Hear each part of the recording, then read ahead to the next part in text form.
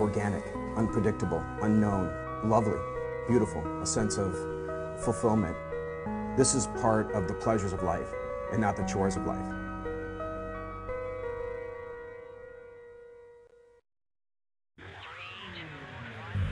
Coming up on Daily Iowan TV, a weekend full of deals and more deals. Small Business Saturday, a success. We have more from local Iowa City businesses. And for all you rock climbers, we have an update on the CRWC climbing wall coming right up. And in sports, so much going on in Hawkeye Athletics over the break, we'll catch you up on all the action. That and much more is coming your way. Daily Iowan TV starts now. I'm Tom Brokaw. For more than 100 years now, the University of Iowa community has been waking up to the Daily Iowan. Today, it's the largest newsroom in eastern Iowa. And now you can see the news every night on Daily Iowan TV and get it anytime worldwide at dailyiowan.com.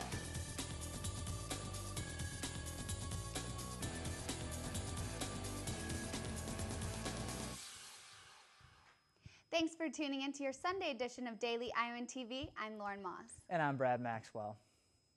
After several weeks of being closed down, the Rec Center's rock walls will be reopened again tomorrow. The Recreation and Wellness Center closed down the rock wall after UI student Spencer Beam fell off the wall on November 8th. Although university spokesman Tom Moore says the incident is still under investigation, the Rec Center will reopen the wall.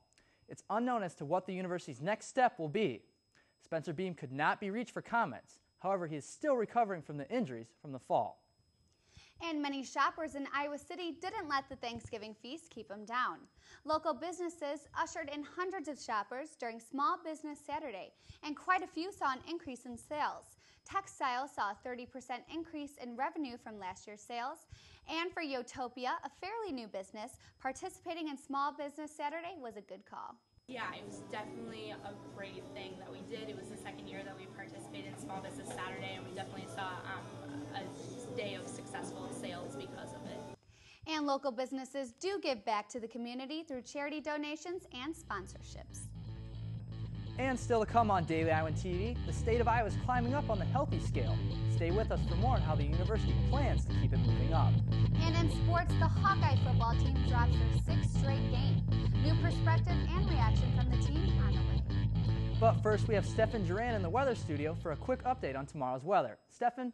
Well, guys, it looks like the cold weather we saw the last couple of days will stay with us tomorrow.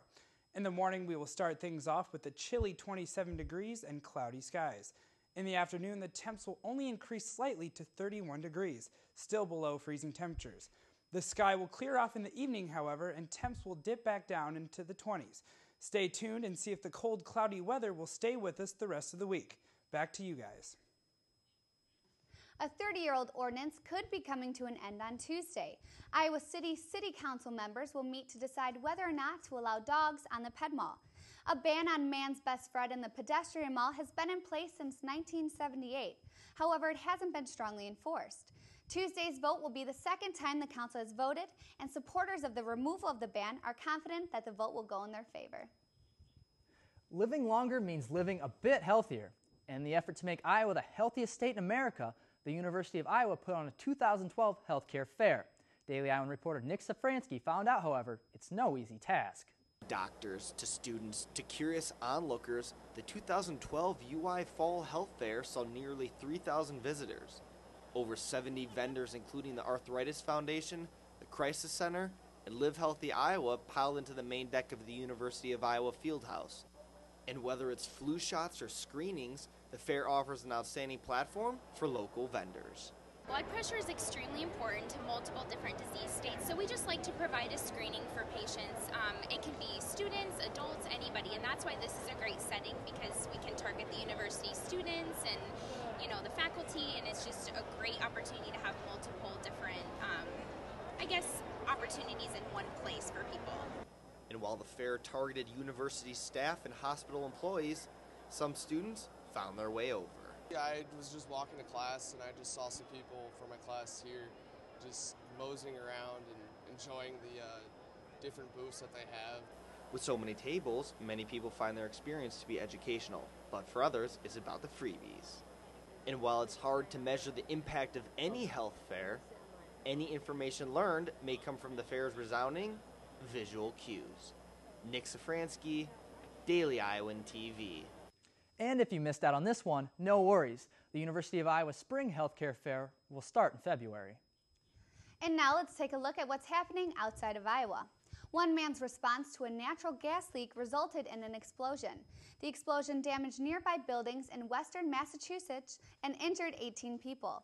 Authorities say a pipe puncture by one worker ignited it all. And blazing fire engulfed a seven story factory building just outside of Bangladesh, killing 112 people. Some workers took refuge on the roof of the building, but firefighters were unable to save those trapped inside. The cause of the fire is still unclear and under investigation. And Egyptian stocks tumbled Sunday in its first trading session since President Morsi issued new powers that clears him from, an, from any oversight. The country's shares lost its value close to an estimated $5 billion. The 9.59% drop in stocks is one of the biggest losses in the past year. Well, Lauren, it certainly was not the season Kirk Ferentz and his Iowa Hawkeyes envisioned to start the year.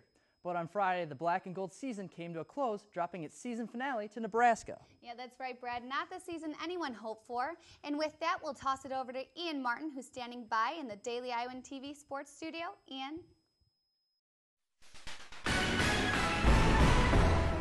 Thanks, Lauren. And a little bit of a different week for Kirk Ferentz's Iowa Hawkeyes, playing on a Friday for the Heroes Trophy, a win over division leading Nebraska, and, well, pride.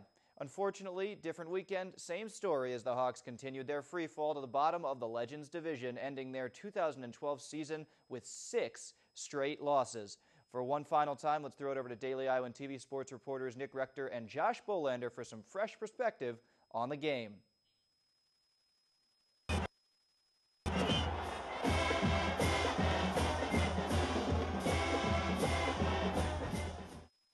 Four and seven Iowa welcomed 14th ranked Nebraska to Kinnick Stadium on Saturday. Cold and windy conditions in Iowa City for this one. First drive, Nebraska marching the ball downfield, looking like they're going to grab a touchdown, but that Iowa defense holding strong on the goal line, putting a stop to Taylor Martinez's drive and only allowing a field goal. Iowa's turn now. Vandenberg finds Fedorowicz for the completion. That big man has got some soft hands. Vandenberg finishing the drive with a one yard rushing touchdown. Third quarter now, Nebraska head coach Bo Pelini showing some faith in his kicker. And why not? Brett Maher's good for the 52 yarder. Hawkeyes still up 7 6, trying to add to their lead, but Vandenberg's pass to Derby is too short, broken up by Stafford. Nebraska with the ball again. Rex Burkhead back in the mix for the Cornhuskers. He rushed for 15 touchdowns last year. Missed half of this season due to injury, though. He's back here, rushing for his fourth touchdown of the season and putting the Huskers up 13 to 7. Iowa would get one last drive to win the game, but Vandenberg's picked off by Whaley. Cornhuskers would hold on to this one. Nebraska 13, Iowa 7. You know, we had to run the ball a lot more. Um, actually, in the game plan, we were playing um, take some shots downfield, but obviously we couldn't do that because of the wind. Sometimes we were going uh, against the wind, sometimes with the wind, so it definitely played a factor. It was a spirited performance by the Hawkeyes. Unfortunately for Kirk Ferentz and his team, Saturday's matchup ended up just like Iowa's previous six games, as a loss. Now let's send it to Josh Bolander for a more in depth look at the game. Six straight losses, 19 seniors, one seemingly lost season.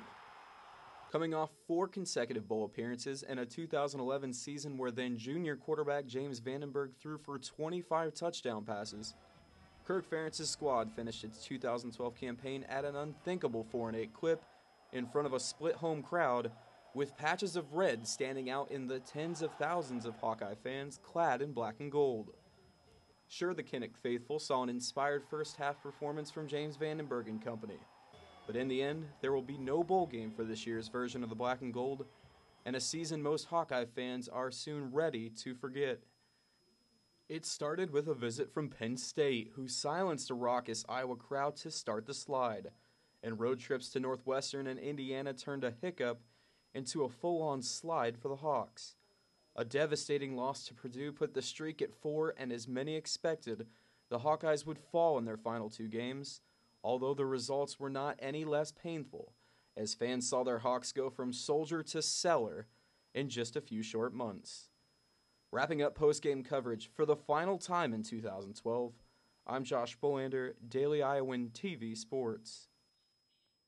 Football players weren't the only athletes breaking a sweat, though, during the break, with a number of Hawkeye Olympic sports in action. Two individuals even received some national recognition. And we'll start there with University of Iowa seniors and field hawks, Jessica Barnett and Kathleen Murdy McGraw, both receiving second team All American honors, becoming the 82nd and 83rd Iowa field hockey players to be named All American in the program's pretty rich history.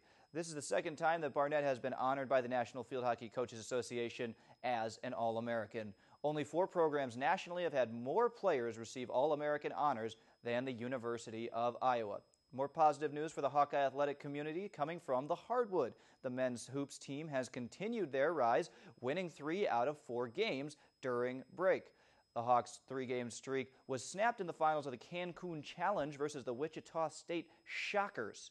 Lisa Bluder's squad had a rougher week, however, dropping a game to Florida International at the buzzer on Friday before rebounding today against number 12 West Virginia 79 to 70. Finally, we move on to the Iowa women's volleyball team who fell in their season finale at Carver this past Saturday, 3 sets to none to, to Illinois. The loss ended a cruel stretch of play for the youthful Hawkeye squad, who ended their 2012 campaign with 13 straight losses, including a run of 37 dropped sets. For an extended look and fresh perspective on all Hawkeye action taking place over break, be sure to tune back in tomorrow for our Monday evening whip around, where reporters will be out in the field for a more in depth look at everything black and gold. Well, that's all for us here at Sports. Back to you guys at the desk. Thanks for that, Ian. And standing by in our weather studio, Stefan Duran for our extended forecast. And Stefan, it seems to be getting chillier by the day. Can we hope for warmer conditions this week? Well, like I said earlier, tomorrow will be quite chilly, but the good news is things will warm up throughout the week. Tuesday and Wednesday, we can expect some sunny skies and temps around 40 degrees. Later in the week, the skies start to get cloudy again, but the highs on Thursday and Friday jump up into the lower 50s with lows into the mid 30s. Finally, on Saturday, the high temps will reach into the lower 60s, but unfortunately, the warmer temps bring a 60% chance of rain.